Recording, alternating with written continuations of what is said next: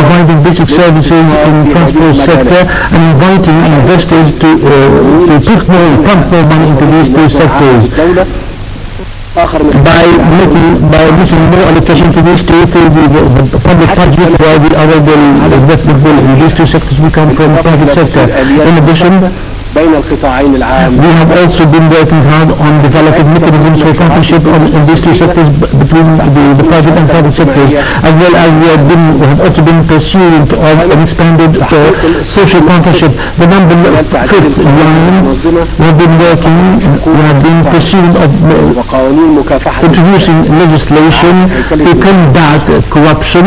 السيدات والسادة Ladies and على المستوى العملي on the practical level, we have to look forward to mega ambitious projects which uh, are likely to build, to expand jobs, expand promising jobs. On top of these projects, uh, being the, the Suez Canal expanded project, which has embarked on its uh, second stage depending on opening up the door to investment in industrial and service sectors involving a boat of prospects for the private sector to invest in to make sure of Egypt's unique geographical role linking in, in the middle of the middle between Africa, Asia and Europe. Also, in addition to this, we embarked on the first phase of reclaiming a large, vast area of land بث روحا جديدة And we have infused, uh, we have also uh, embarked on another project for reforming education. الأجانب And we have also been working hard to, to make due, uh, to make repay, loan repayments. We have also been uh, liberalizing fuel prices, which uh, تهدف إلى الاستثمار بقطاع الغاز والنفط which uh, uh, liberalizing fuel prices have ushered in actually large uh, major companies working in the area of energy to invest in the sector.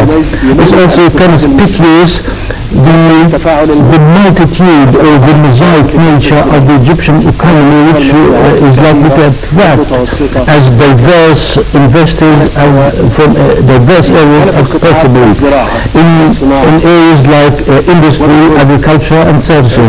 So let me invite all partners seeking real, genuine and serious opportunities to take part in to take part in the forthcoming, uh, the up-and-coming conference on, the be of in Sharm el-Sheikh in Egypt on uh, enhancing and strengthening economy to get a quality, to get first-hand knowledge of all the products available and to know uh, what opportunities for cooperation are there in the areas of textile uh, as well as building materials and some more areas. Ladies and gentlemen, Egypt is also signals also interest in opening up to the world and confronting mutual challenges to us all. Egypt is also uh, earnest in fulfilling its uh, contractual obligations and expanding its economic cooperation with all international partners. Almost as, as such, credit in being as such, means to uh, fulfill its obligations and uh, achieve its uh, growth goals, but not in isolation of the world, but in cooperation with the entire world by making the climate conducive to investment and investment investors to the benefit of all countries dialogue, dialogue in today's world is the only way to achieve all this, particularly as we are going to assess our, uh, our progress in the world towards uh, our growth or development goals of the Millennium and uh, laying down new foundations for uh, confronting climate change challenges. In doing so, we have to address all the global, global landscape of data. Although globalization has been brought about a lot of, uh, has made the world all the more smaller, but it has its own challenges. وخاصة في القارة الإفريقية particularly on the African continent. In addition, there has also been an eating gap between developed and uh, countries on the one hand and less developed countries on the other, particularly in growing in uh, poverty as well as the techno- technological gap as well as communications in uh, less developed countries. At the same time, uh, New Egypt is fully aware that it's that it's uh, world seeking to open up to the world to achieve its uh, uh, ambitions, it does not neglect or forget its immediate or adjacent Arab and African landscape. And is also fully aware that it has to address all the global challenges تتمثل في ميثاق الأمم المتحدة on along the lines of the principles of the United Nations Charter, international legitimacy, as well as international law. الصراع Egypt will always be pursuant of settling the Arab-Israeli conflict along the of an international, of international uh, settlement that will give Palestinians their own viable state with, uh, along the borders of 1967. This would be the only settlement, settlement that will meet uh, or will achieve all uh, or serve the rights of the people to their own security, including the Israeli people.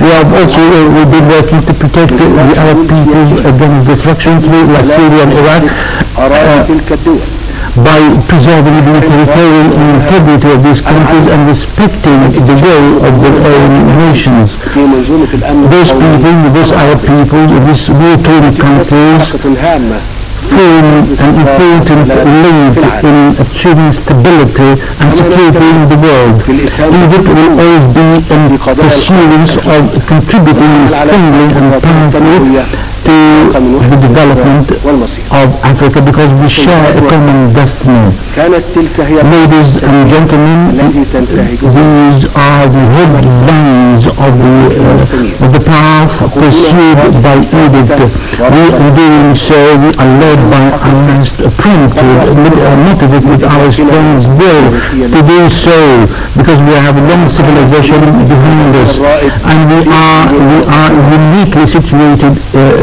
right in the middle of the world. In doing so, we are also fully aware have, if we should uh, cooperation. Since our uh, partners, uh, world partners are coming closer.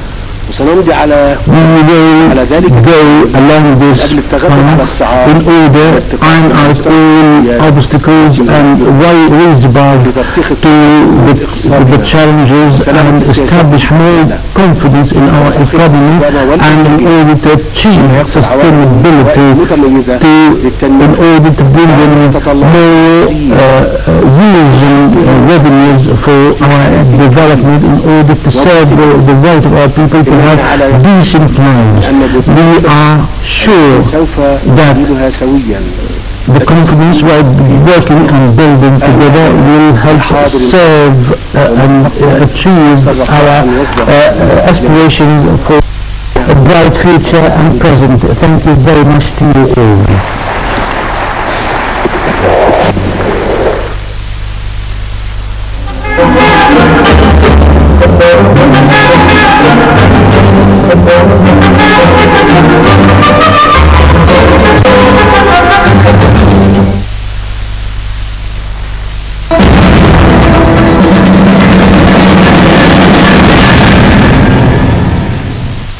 Welcome back. It's time for the top stories. I'm Raham Morsi and I'll bring you the latest updates. We start with President Abdel Fattah al-Sisi delivering on Thursday a speech in a special session on Egypt in the Davos Economic Forum held in Switzerland.